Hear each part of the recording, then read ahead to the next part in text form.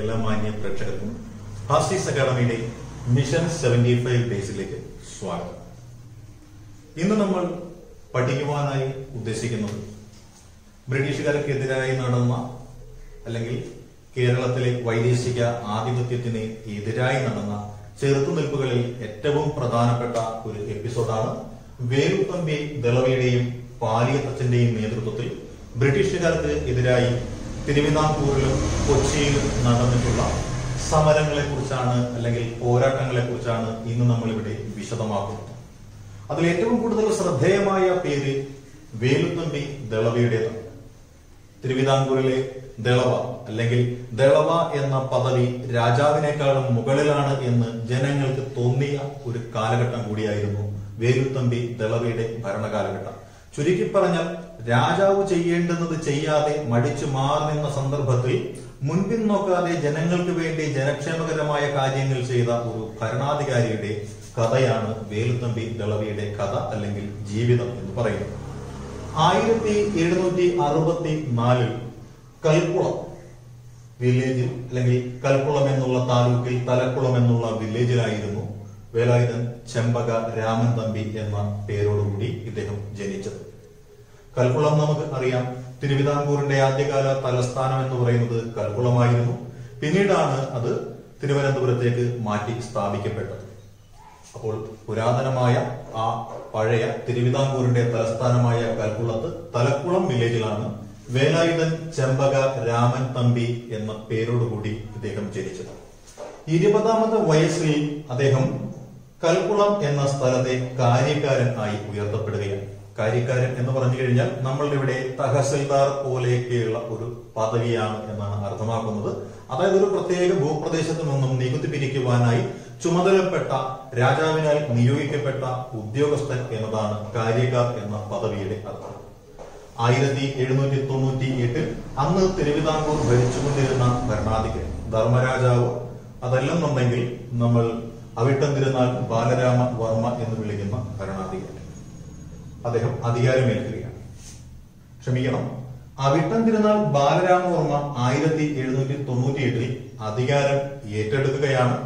അതേ വർഷം തന്നെ ആയിരത്തി എഴുന്നൂറ്റി തൊണ്ണൂറ്റി എട്ടിൽ ഇദ്ദേഹത്തിന്റെ അമ്മാവനായിരുന്ന ധർമ്മരാജ് കാർത്തിക തിരുനാൾ ബാലരാമവർമ്മയാണ് മരണമടയുന്നത് തിരുവിതാംകൂറിൽ ഏറ്റവും കൂടുതൽ കാലം അധികാരത്തിലിരുന്ന ഭരണാധികാരി ആയിരത്തി എഴുന്നൂറ്റി അൻപത്തി എട്ട് മുതൽ തൊണ്ണൂറ്റി എട്ട് വരെ അധികാരത്തിലിരുന്ന നീണ്ട നാൽപ്പത് വർഷക്കാലത്തോളം അധികാരത്തിലിരുന്ന കാർത്തിക തിരുനാൾ ബാലരാമവർമ്മ.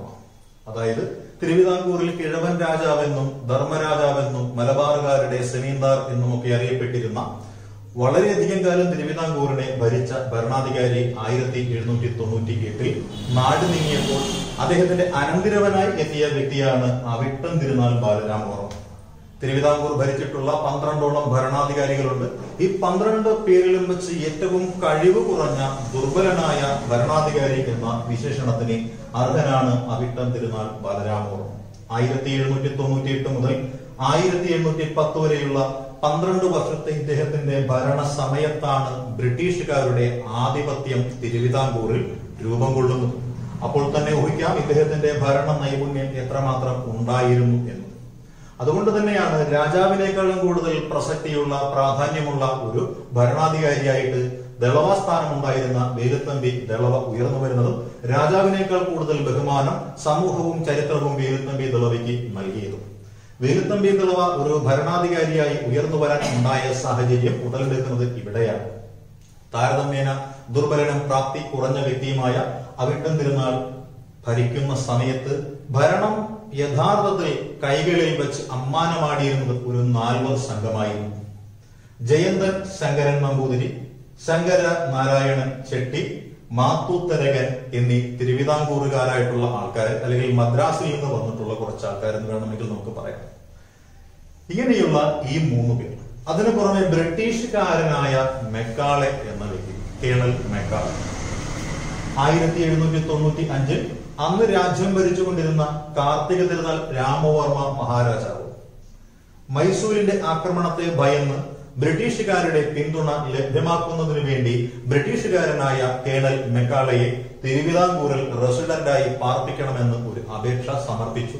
അതിന്റെ പരിണതഫലമായി തിരുവിതാംകൂറിലെ ആദ്യത്തെ ബ്രിട്ടീഷ് റെസിഡന്റായിട്ട് നിയുക്തനായ വ്യക്തിയാണ് മെക്കാളെ ആയിരത്തി എഴുന്നൂറ്റി തൊണ്ണൂറ്റി എട്ടിൽ കാർത്തിക തിരുനാൾ രാമോർമ്മയുടെ അല്ലെങ്കിൽ കാർത്തിക തിരുനാൾ ഭരണാധികാരിയുടെ മരണശേഷം ചാർജ് ഏറ്റെടുത്ത അല്ലെങ്കിൽ തിരുവിതാംകൂറിന്റെ ഭരണാധികാരിയായ അവിട്ടം തിരുനാൾ പതിനാറ് പതിനേഴ് വയസ്സ് മാത്രം പ്രായമുള്ള ഒരു കൊച്ചു കുട്ടിയായിരുന്നു. അതുകൊണ്ട് തന്നെ ഭരണത്തിൽ പ്രാപ്തി കുറവായിരുന്നു. അതുകൊണ്ട് തന്നെ ഭരണം യഥാർത്ഥത്തിൽ കൈയാളിയിരുന്നത് ജയന്തൻ ശങ്കരൻ അതുപോലെ തന്നെ ശങ്കരനാരായണൻ മാത്തൂത്തരകൻ മുതലായവരായിരുന്നു.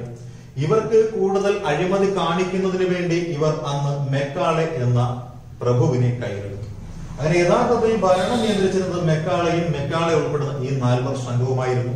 ജനങ്ങളിൽ നിന്നും കൂടുതൽ നികുതി പിരിക്കുക എന്നതായിരുന്നു അവശ്യ ചെലവുകൾ നേരിടുവാൻ ഇവർ കണ്ടെത്തിയ മാർഗം. എന്നാൽ നികുതി കൂടുതൽ കൊടുത്താൽ മുടിഞ്ഞു പോവുകയേ ഉള്ളൂ എന്ന് തിരിച്ചറിഞ്ഞ ജനത കാര്യക്കാരനായിരുന്നു. കൽക്കുളം വില്ലേജിലെ കാര്യക്കാരനായിരുന്ന വേലായുധൻ ചെമ്പകരാമൻ തമ്പിയുടെ നേതൃത്വത്തിൽ ഒരു നിവേദനം സമർപ്പിക്കുവാനായി കൊട്ടാരത്തിലെത്തി. ഒരുപാട് കർഷകരുമായി എത്തിയ വേലുത്തമ്പി ദളവ അദ്ദേഹത്തിന്റെ നേതൃത്വത്തിൽ ജനങ്ങൾ സംഘടിക്കുന്നു എന്ന് കണ്ടപ്പോൾ രാജാവ് വേലുത്തമ്പിയുമായി ഒരു ചർച്ചയ്ക്ക് തയ്യാറായി. ചർച്ചയ്ക്ക് ഒടുവിൽ നികുതി പിരിക്കുക എന്ന ചുമതല വേലായുധൻ ചെമ്പകരാമൻ തമ്പിക്ക് വിട്ടുകൊടുക്കുന്നതിന് ധാരണയായി. എപ്രകാരമായിരിക്കണം നികുതി പിരിക്കേണ്ടത് എന്നതിനെ സംബന്ധിച്ച് നല്ല വ്യക്തമായ ധാരണയുണ്ടായിരുന്ന വേലുത്തമ്പി. വ്യാപാരികളിൽ നിന്നും വാണിജ്യക്കാരിൽ നിന്നും കച്ചവടക്കാരിൽ നിന്നും കൂടുതൽ നികുതി പിരിക്കുക കർഷകരിൽ നിന്നും നികുതി വർദ്ധിപ്പിക്കുന്ന നടപടി ഒഴിവാക്കുക എന്നീ നയങ്ങളാണ് സ്വീകരിച്ചിരുന്നത്.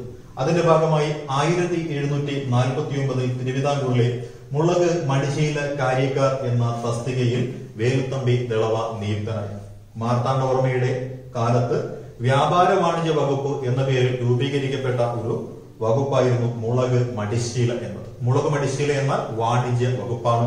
കച്ചവടക്കാർ അറിയപ്പെട്ടത് മുളക് മടിശീലക്കാർ എന്നും ആ വ്യാപാര വകുപ്പ് കൈകാര്യം ചെയ്യുന്ന ഭരണാധികാരി അറിയപ്പെട്ടിരുന്നത് മുളക് മടിശീലക്കാരിയാണ് വ്യാപാര വകുപ്പിന്റെ ചുമതലക്കാരനായി വേലുത്തമ്പി എത്തുകയും നികുതി യഥേഷ്ടം പിരിക്കുകയും ജനങ്ങളുടെ അമിതമായുള്ള ആ ഒരു കഷ്ടപ്പാടിൽ നിന്നും അവർക്ക് മോചനം നൽകുവാനായിട്ട് പരിശ്രമിക്കുകയും ചെയ്തതോടുകൂടി ഒരു നല്ല ഭരണാധിപൻ എന്ന പേര് വേലുത്തമ്പി തളവയ്ക്ക് അല്ലെങ്കിൽ വേലായുധൻ ചെമ്പക രാമൻ തമ്പിക്ക് നേടിയെടുക്കുവാൻ സാധിച്ചു. ഇതിന്റെ പരിണിത ഫലമായി ആയിരത്തി എണ്ണൂറ്റി രണ്ടിൽ ഇദ്ദേഹം ദളവ എന്ന സ്ഥാനത്തേക്ക് നീട്ടായി. തുടർന്ന് കൊട്ടാരത്തിനുള്ളിൽ നടന്ന അധികാര വടംവലിക്കൊടുവിൽ ജയന്തൻ ശങ്കരൻ നമ്പൂതിരിപ്പാട് ശങ്കരനാരായണൻ ജെട്ടി മാത്തൂത്തരകൻ എന്നിവർ പുറത്താക്കപ്പെട്ടു. തുടർന്ന് ജനങ്ങൾക്ക് വേണ്ടി ജനക്ഷേമകരമായ പദ്ധതികൾ നടപ്പിലാക്കുക എന്നതായിരുന്നു വേലുത്തമ്പി തളവ ചെയ്ത പ്രധാനപ്പെട്ട നടപടികൾ. ഇക്കാലത്ത് തിരുവിതാംകൂറിൽ അടിമ കച്ചവടം പ്രചാരത്തിലുണ്ടായിരുന്ന ഒരു കാലഘട്ടമായിരുന്നു. കൂടുതൽ ഉൽപ്പാദിപ്പിക്കുക കൂടുതൽ ഉൽപാദന ശേഷിയുള്ള തൊഴിലാളികളെ നിയമിക്കുക എന്നിങ്ങനെയുള്ള നയത്തിന്റെ ഭാഗമായിട്ട് ചങ്ങനാശ്ശേരിയിൽ ഒരു അടിമച്ചന്ത വേലുത്തമ്പി തളവ സ്ഥാപിച്ചതായി ചരിത്ര രേഖകൾ പ്രതിപാദിക്കുന്നു. ഇതോടൊപ്പം തന്നെ കൂടുതൽ ധാന്യങ്ങൾ ഉൽപ്പാദിപ്പിക്കുക നാടിന്റെ പട്ടിണി മാറ്റുക എന്ന ലക്ഷ്യം നിറവേറ്റുന്നതിന് വേണ്ടി പാതിരാമണൽ ഉപയോഗശൂന്യമായി കിടന്ന വേമ്പനാട്ട് കായലിന്റെ നടുവിലുള്ള പാതിരാമണൽ എന്ന ദ്വീപിനെ വെട്ടിത്തെളിച്ച് കൃഷി യോഗ്യമാക്കി മാറ്റിയ വ്യക്തി വേലുത്തമ്പി ദളവയാണ്. നാട്ടിൽ ക്രമസമാധാന പാലനം എന്നത് ഏറ്റവും പരമപ്രധാനമായ കാര്യമാണെന്ന് തിരിച്ചറിഞ്ഞ വേലുത്തമ്പി സഞ്ചരിക്കുന്ന കോടതികൾ സ്ഥാപിച്ചു. എല്ലാ നാട്ടിലും ഒരു നിശ്ചിത സമയത്ത് ന്യായാധിപനും ന്യായാധിപന്റെ കൂടെ രണ്ടോ മൂന്നോ ഉപ ന്യായാധിപന്മാരും എത്തിച്ചേരുകയും ആ നാട്ടിലുള്ള പ്രശ്നങ്ങൾക്ക് പോംവഴി കണ്ടെത്തുകയും ചെയ്യുന്ന ഒരു സംവിധാനം. അതായത് പ്രശ്നങ്ങൾ ഉണ്ടാകുന്ന പരാതികൾ ഉണ്ടാകുന്ന ജനങ്ങളുടെ സമീപത്തേക്ക് നീതിന്യായ വ്യവസ്ഥ ചെല്ലുന്ന ഒരു സമ്പ്രദായമാണ് സഞ്ചരിക്കുന്ന കോടതി എന്ന് പറയുന്നത് ഇതേപോലെ ഉദ്യോഗസ്ഥ തലത്തിലും കാതലായ ഒരു അഴിച്ചുപണി വേലുത്തമ്പി തിളവ നടത്തി. ഉദ്യോഗസ്ഥന്മാരെ എല്ലാവരെയും കൊല്ലത്ത് കൊണ്ടുവരികയും കൊല്ലം കേന്ദ്രമാക്കിയുള്ള ഒരു ഭരണസ്ഥിര കേന്ദ്രം അദ്ദേഹം സ്ഥാപിക്കുകയും ചെയ്തു. ഇന്ന് നമ്മൾ കാണുന്ന സെക്രട്ടേറിയറ്റിന്റെ ആദിമ രൂപം അല്ലെങ്കിൽ പ്രാകൃത രൂപം എന്ന് വിശേഷിപ്പിക്കാൻ പറ്റുന്ന ഒരു ഉദ്യോഗസ്ഥ കൂട്ടായ്മ അല്ലെങ്കിൽ ഒരു ഉദ്യോഗസ്ഥ കേന്ദ്രമായിരുന്നു വേലുത്തമ്പി ദളവ വിഭാവനം ചെയ്തിരുന്നത്. അദ്ദേഹം വിഭാവനം ചെയ്ത ആ ഉദ്യോഗസ്ഥ ഭരണസ്ഥിര കേന്ദ്രം അറിയപ്പെട്ട പേരായിരുന്നു ഹജൂർ കച്ചേരി അങ്ങനെ തിരുവിതാംകൂറിൽ നാൾക്കുനാൾ വേലുത്തമ്പി നിളവയുടെ സ്വാധീനം ശക്തിപ്പെട്ടു വന്നു. രാജാവ് നാമമാത്ര പ്രസക്തനായി ബ്രിട്ടീഷുകാരുടെ റെസിഡന്റായി ഇവിടെ താമസിച്ചിരുന്ന മെക്കാളേക്കും പ്രസക്തി നഷ്ടപ്പെടും എന്നൊരു ഘട്ടം വന്നപ്പോൾ ബ്രിട്ടീഷുകാരുടെ അധികാരം ഉപയോഗിച്ചുകൊണ്ട് അവിട്ടം തിരുനാൾ മഹാരാജാവിനെ ഭീഷണിപ്പെടുത്തിക്കൊണ്ട് വേലുത്തമ്പി ദളവയെ ദളവ സ്ഥാനത്ത് നിന്നും നീക്കം ചെയ്യുക എന്ന ഗൂഢ നീക്കത്തിന് മെക്കാളെ ചരട് വലിച്ചു വേലുത്തമ്പിയെ എതിർത്തിരുന്ന വേലുത്തമ്പി അധികാരത്തിൽ നിന്നും ഭ്രഷ്ടമായി കഴിഞ്ഞാൽ തങ്ങൾക്ക് അധികാരം കിട്ടുമെന്ന് കരുതിയിരുന്ന തങ്ങൾക്ക് യഥേഷ്ടം എന്തും ചെയ്യാമെന്ന് വിശ്വസിച്ചിരുന്ന കൊട്ടാരത്തിലെ ഒരു വിഭാഗം ആളുകളും മെക്കാളേക്കൊപ്പം കൂടുകയും വേലുത്തമ്പി തളവ ഏകദേശം ഒറ്റപ്പെടുന്ന ഒരു അവസ്ഥയിൽ എത്തിച്ചേരുകയും ചെയ്തു. ഇത് തിരിച്ചറിഞ്ഞ വേലുത്തമ്പി തളവ തീരുമാനിച്ചു. ബ്രിട്ടീഷുകാരനായ മെക്കാളയെയും ബ്രിട്ടീഷ് റെസിഡന്റ് എന്ന സ്ഥാനത്തെയും തിരുവിതാംകൂറിൽ നിന്നും തുടച്ചു നീക്കിയെങ്കിൽ മാത്രമേ നാടിനെ മോചിപ്പിക്കുവാൻ സാധിക്കുകയുള്ളൂ. പിറന്ന നാടിന്റെ മോചനത്തിന് വിദേശിയെ ഇവിടെ നിന്നും ഓടിച്ചു വിടുന്നതിന് വേണ്ടി എന്താണ് ചെയ്യേണ്ടത് എന്നതിന് വ്യക്തമായ ഒരു ധാരണയുള്ള വ്യക്തിയായിരുന്നു വേലുത്തമ്പി തളവ. അദ്ദേഹം ആലോചിച്ചപ്പോൾ പഴയ കാലത്ത് മാർത്താണ്ഡവർമ്മയുടെയും അതേപോലെ ധർമ്മരാജാവിന്റെയും കാലത്ത് കൊച്ചി രാജ്യവുമായി ഉണ്ടാക്കിയ ഉടമ്പടിയും ശുചീന്ദ്രം ഉടമ്പടി എന്നീ പേരുകളിൽ അറിയപ്പെട്ടിട്ടുള്ള കൊച്ചി തിരുവിതാംകൂർ സന്ധി അദ്ദേഹം ഒന്ന് കൊടുത്തിട്ടിരുന്നു കൊച്ചിക്ക് ഒരാവശ്യം വന്നു കഴിഞ്ഞാൽ തിരുവിതാംകൂറും തിരുവിതാംകൂറിന് ഒരു ആവശ്യം വന്നു കഴിഞ്ഞാൽ കൊച്ചിയും പരസ്പരം തുണ ചെയ്യണം എന്നുള്ളതായിരുന്നു ഈ കരാറിന്റെ കാതലായ ഭാഗം. ആ ആവശ്യം മുൻനിർത്തിക്കൊണ്ട് അദ്ദേഹം സമീപിച്ചു. അത് മറ്റാരെയുമായിരുന്നില്ല. കൊച്ചി രാജ്യത്തിലെ പ്രധാനമന്ത്രിയായിരുന്ന പാലിയത്തച്ഛനെയായിരുന്നു ശക്തൻ തമ്പുരാന്റെ കാലഘട്ടത്തിൽ ശക്തൻ തമ്പുരാൻ അറിയപ്പെടുന്നത് കൊച്ചിയിലെ മാർത്താണ്ഡവർമ്മ എന്ന പേരിലാണ്. ശക്തൻ തമ്പുരാന്റെ കാലശേഷം ദുർബലന്മാരായ ഭരണാധികാരികളായിരുന്നു കൊച്ചി ഭരിച്ചുകൊണ്ടിരുന്നത്. ആ സമയത്ത് ശക്തൻ തമ്പുരാന്റെ സേവകനായിട്ടുണ്ടായിരുന്ന പാലിയത്തച്ഛനുണ്ടായി പാലിയം രാജകുടുംബത്തിലെ തലമുതിർന്ന അംഗത്തിന് ബഹുമാനപൂർവം കൽപ്പിച്ചു കൊടുക്കുന്ന പദവിയാണ് പാലിയത്തച്ഛൻ എന്ന പദവി. പാലിയത്തച്ഛൻ പദവിയിലിരിക്കുന്ന ആളാണ് കൊച്ചി രാജ്യത്തിലെ പ്രധാനമന്ത്രി എന്നുള്ളത് അലിഖിതമായ ഒരു നിയമവും. കൊച്ചി രാജ്യത്തെ പ്രധാനമന്ത്രിയായിരുന്ന പാലിയത്തച്ഛനെയാണ് വേലുത്തമ്പി തിളവ ബ്രിട്ടീഷ് ഭരണത്തെ ഈ നാട്ടിൽ നിന്നും തുടച്ചു നീക്കുവാനായിട്ടുള്ള തീരുമാനത്തിൽ പങ്കാളിയാക്കിയത്. കൊച്ചിയിലെ ബ്രിട്ടീഷുകാരുടെ ഭരണത്തിൽ മനമെടുത്തിരുന്ന പാലിയത്തച്ഛൻ വേലുത്തമ്പിയുമായി ധാരണയെടുക്കുകയാണ്. കൊച്ചിയിലും തിരുവിതാംകൂറിലും ഒരേ സമയം ബ്രിട്ടീഷ് വിരുദ്ധമായ കലാപം ഉണ്ടാവുക. അതുകൊണ്ട് തന്നെ കൊച്ചിയിൽ നടക്കുന്ന കലാപത്തെ അടിച്ചമർത്താൻ തിരുവിതാംകൂറിൽ നിന്നും കൂടുതൽ സൈന്യത്തെ എത്തിക്കുക എന്നത് അസാധ്യവും. തിരുവിതാംകൂറിൽ നടക്കുന്ന കലാപത്തെ പരാജയപ്പെടുത്തുവാൻ കൊച്ചിയിൽ നിന്ന് കൂടുതൽ പട്ടാളക്കാരെ കൊണ്ടുവരിക എന്നുള്ളത് അസംഭവ്യവുമാവും അതുകൊണ്ട് തന്നെ ബ്രിട്ടീഷുകാരെ രണ്ട് സ്ഥലത്തും ഒരേ സമയത്ത് പരാജയപ്പെടുത്തി നാടിനെ ബ്രിട്ടീഷ് ഭരണത്തിൽ നിന്ന് മോചിപ്പിക്കാം എന്ന് സ്വപ്നം കണ്ട രണ്ട് വ്യക്തികൾ. ആ രണ്ട് വ്യക്തികളാണ് വേലുത്തമ്പി ദളവയും പാലിയത്തച്ഛനും അതിന്റെ ഭാഗമായി ഇവർ തമ്മിൽ ധാരണയെടുക്കുകയും കലാപം പൊട്ടിപ്പുറപ്പെടുകയും ചെയ്തു. കലാപത്തിന്റെ ഭാഗമായി ജനങ്ങളെ ബ്രിട്ടീഷുകാർക്കെതിരെ അണിനിരത്തുവാൻ വേലുത്തമ്പി ദളവ് തീരുമാനിച്ചു. ഒരു ജനകീയ പ്രക്ഷോഭമാക്കി ഈ കലാപം മാറ്റുവാൻ അദ്ദേഹം തീരുമാനിച്ചു. രാജാവിൽ നിന്നോ ഭരിക്കുന്ന ഭരണാധികാരികളിൽ നിന്നോ യാതൊരു തരത്തിലുള്ള പിന്തുണയും വേലുത്തമ്പി ദളവയ്ക്ക് ലഭിച്ചിരുന്നില്ല. അതുകൊണ്ട് തന്നെ ജനങ്ങളുടെ ഇടയിലേക്ക് ഇറങ്ങി വന്നുകൊണ്ട് ബ്രിട്ടീഷുകാർക്കെതിരായി കയ്യിൽ കിട്ടുന്ന ആയുധമെടുത്ത് അടലാടുവാൻ ജനങ്ങളോട് ആഹ്വാനം ചെയ്യുന്ന ഒരു നയമായിരുന്നു വേലുത്തമ്പി ദളവ സ്വീകരിച്ചത്. ഇതിനായി അദ്ദേഹം ഒരു പൊതുസമ്മേളനം വിളിച്ചു ചേർത്തു.